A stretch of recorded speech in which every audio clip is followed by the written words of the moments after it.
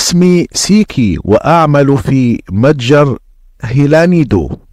سؤاله هو يقول أؤمن بإله واحد وأؤمن أن محمدا صلى الله عليه وسلم خاتم الرسل.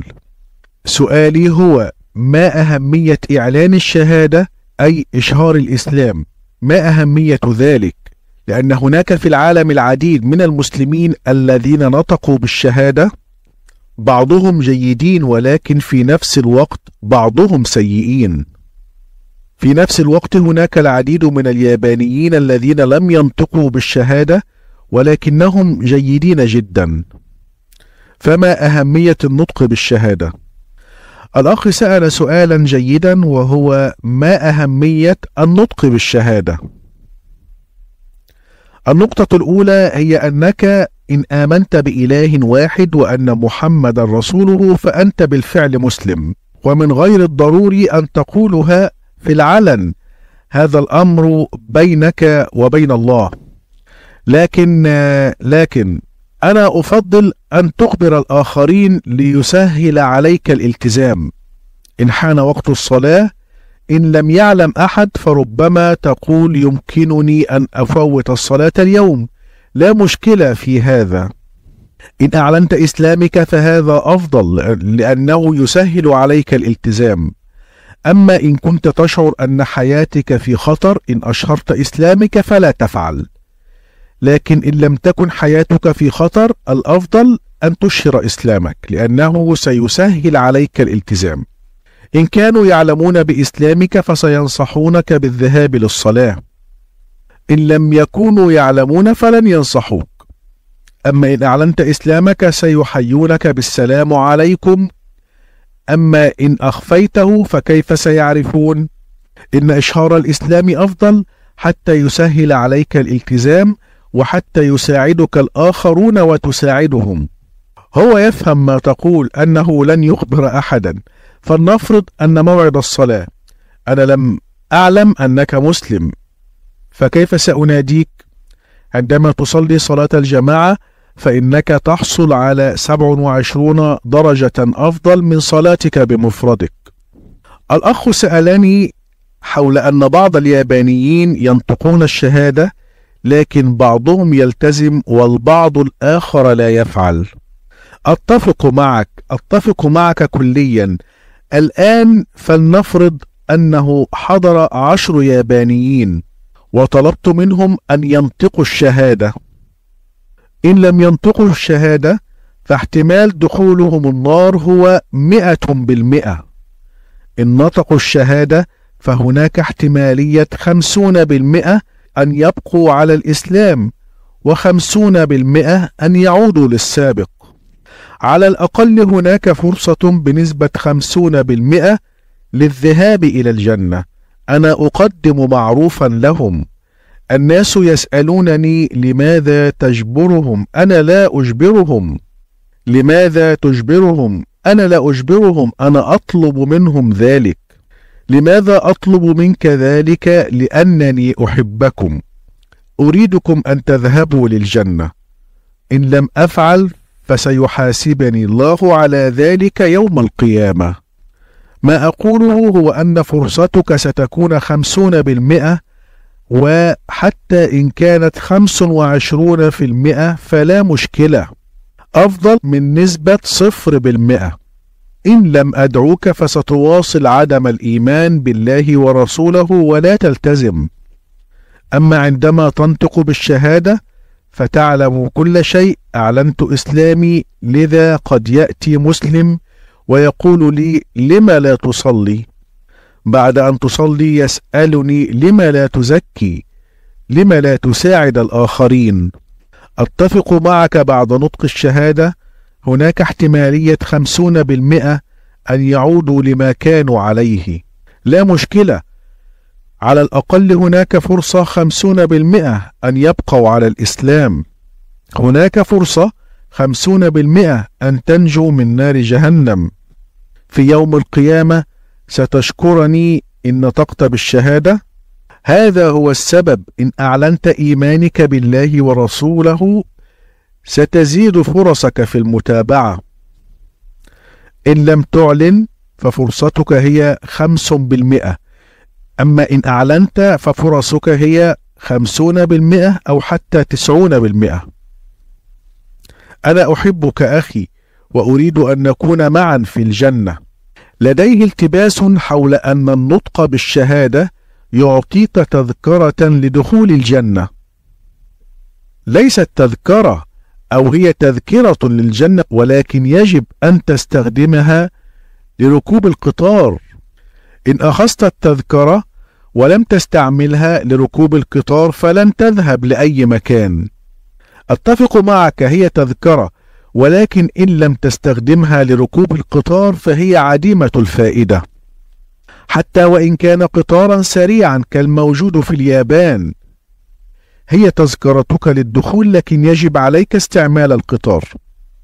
يجب عليك الصلاة وأن تكون صالحا. أما تذكرة في الجيب فستبقيك في طقيو فقط. هل تقول بأن هؤلاء الذين يقومون بالأعمال الصالحة ولكنهم لم ينطقوا الشهادة لن يدخلوا الجنة؟ إن كانوا يقومون بالأعمال الصالحة لكنهم لا يؤمنون بإله واحد ولا يؤمنون بالنبي محمد صلى الله عليه وسلم لن يدخلوا الجنة إطلاقا ربما يكونون أفضل البشر في العالم هل سمعت عن الأم تريزا؟ الأم تريزا حصلت على جائزة نوبل إنسانة جيدة جدا وتساعد الناس. هل هناك متطلبات لدخول الجنة؟ هناك أربع متطلبات لدخول الجنة مذكورة في سورة العصر 103 الآيات من واحد إلى ثلاث. والعصر إن الإنسان لفي خسر إلا الذين آمنوا وعملوا الصالحات. وتواصوا بالحق وتواصوا بالصبر. هذه هي الأربعة متطلبات لأي إنسان لدخول الجنة. أولا الإيمان بالله ورسوله وكل الأمور الأخرى. ثانيا الأعمال الصالحة. إن كنت تؤمن بالله ورسوله لكنك مستمر في السرقة والكذب وإيذاء الآخرين فلن تدخل الجنة. ثالثا التواصي بالحق. أن تقوم بالأعمال الصالحة ولكنك لا تدعو إليها الآخرين هذا فعل خاطئ. رابعا التواصي بالصبر. يجب على أي إنسان أن يحقق على الأقل هذه الأربعة متطلبات ليدخل الجنة. أما أن يقول الإنسان أني مسلم أؤمن بالله ورسوله فقط فهذا غير كاف. جميع المتطلبات الأربعة لازمة. على سبيل المثال هناك ست مواد أساسية للنجاح في الصف العاشر. الإنجليزية والتاريخ والجغرافيا والعلوم وغيرها ست مواد. أنا نجحت في خمس منها لكنني حصلت على عشر من مئة في الرياضيات ورسبت. هل سأنجح في الصف العاشر؟ كلا لن ينجح. صحيح هذا هو السبب في أن جميع المتطلبات الأربعة لازمة. العمل الصالح وحده غير كاف الإيمان هو أحد المتطلبات. يأتي بعده العمل الصالح والتواصي بالحق. إذا الشهادة وحدها غير كافية لكن إن نطقت الشهادة ستزيد فرصك. إن لم تنطق الشهادة فلا فرص لديك. هل توافق؟ نعم أوافق. هل توافق أم لا؟ نعم أوافق. أنت توافق. هل النطق بالشهادة جيد أم سيء؟ أعتقد أنه جيد.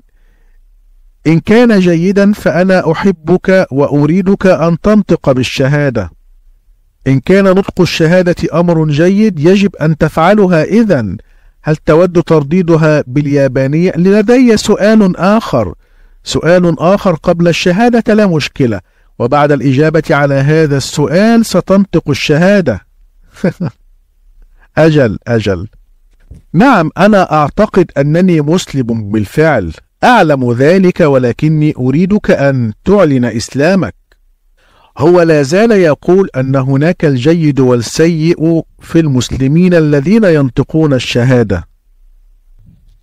أتفق معه وهو يجب أن يكون من الجيدين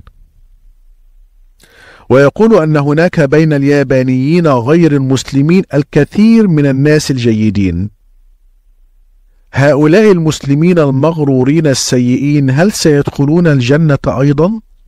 لا إن كانوا مسلمين سيئين ولم يلتزموا بهذه المتطلبات الأربعة لن يدخلوا الجنة إلا إن غفر الله لهم. إن غفر الله لهم سيدخلونها عدا ذلك لن يدخلونها. الله الرحيم قد يغفر لهم إن كانوا يملكون التذكرة. كما قال الله في سورة النساء رقم أربع الآية رقم 48 وسورة النساء رقم 4 الآية رقم 116 إن الله لا يغفر أن يشرك به ويغفر ما دون ذلك لمن يشاء. عندما تنطق بالشهادة فأنت لا تشرك بالله شيئا. الشرك أعظم ذنب إن اجتنبته تصبح فرصك في دخول الجنة عالية جدا. الله تعالى قد يغفر ما دون ذلك. الشهادة تقي من الشرك وهو أعظم الذنوب. الذنوب الأخرى قد يغفرها الله. أوقف الذنب الأعظم أولا. الذنب الأعظم لأن الله هو خالقك يجب أن تحبه وتحترمه. إن أوقفت ذنب الشرك بالله فإن فرص دخولك الجنة عالية جدا. حتى قتل الناس فرص المغفرة أقل. كلما كبر الذنب قلت فرص المغفرة. الذنب الذي لن يغفره الله هو الشرك.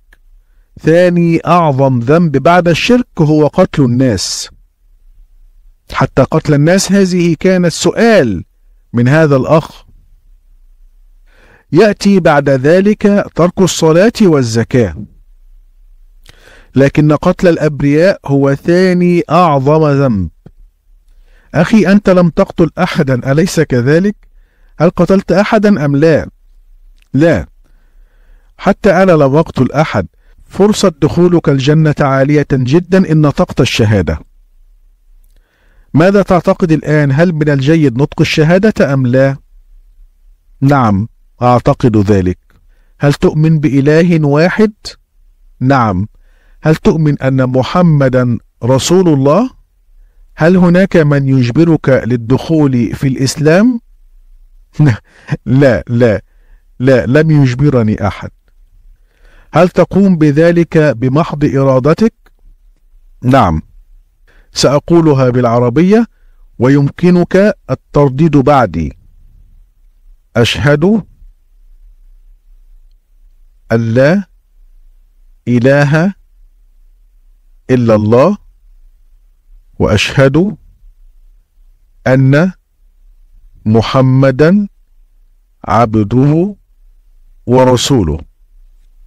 ما شاء الله أنت مسلم أصبحت مسلم تكبير. أسأل الله أن يجازيك ويدخلك الجنة.